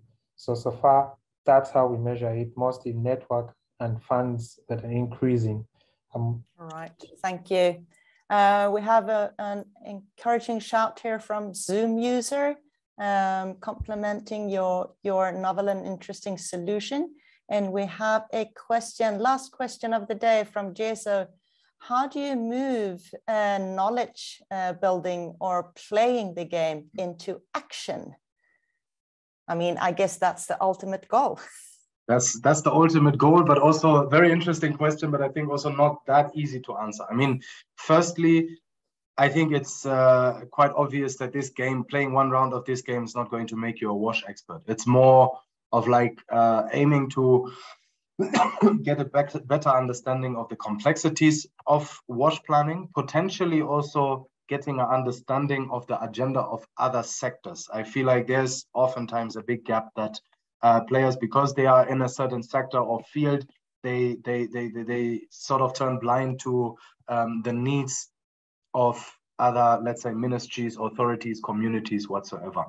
Um, we definitely hope to spark generally an interest in also not only WASH in general but also into thinking about more holistically and more um, yeah in the long-term sustainability of programs so that also a private company is not only thinking about where to put the next uh, borehole, hand pump, or whatsoever, but actually also considering what is the most uh, sustainable solution in in the long run. But it's definitely a process and uh, not replacing expert knowledge and, and work experience, but I hope that it can definitely, no, I'm convinced that it can definitely foster exchange, uh, build some knowledge, um, probably even teach about new technologies. We also had a session with WASH experts and we had some technologies in the game where they were like, oh, I've never heard about this. Can you explain this? And the manual will also feature abstracts on this. So even as a seasoned WASH professional, I'm sure that uh, everybody can learn a little bit on this. Thank you. I thought that was the last question. I was wrong. Abi asks quickly now here, how do you promote your game? so far mainly through our by now quite quite vast and big networks. We uh, put public posts through SuSanA, uh, also through certain LinkedIn groups, uh, asking people to sign up in the game uh, for the test playing. I'm not sure if it's allowed for if we are allowed to do it commercial and if we are allowed to share the test playing link if people are interested. Um, here you can still sign up. If if uh, Görel gives me a nod, then I will just share the link here. Um, and otherwise, uh, yeah, we've been in touch with SIWI, with um, other institutes um, to, to get out the word. We have a, a, pitch deck. We are trying to raise funds. So there are different channels and mainly uh, through our networks and uh, word of mouth. And through that, I think we've already reached a few hundred people and uh, also want to showcase um, showcase uh, the game at the World Water Week to present the idea and get more interest and um, yeah, hope to hope to get interest. We're also trying to start crowdfunding with the game by uh, uh collecting pre-orders from individuals and organizations.